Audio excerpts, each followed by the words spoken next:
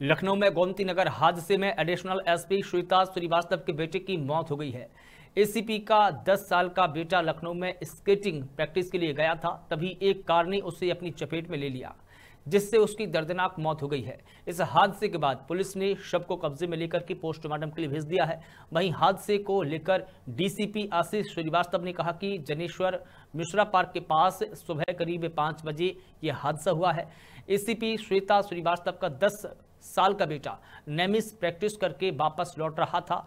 तभी उसे पिपरा घाट रोड पर सफ़ेद रंग की कार ने टक्कर मार दी, जिससे उसकी दर्दनाक मौत हो गई है।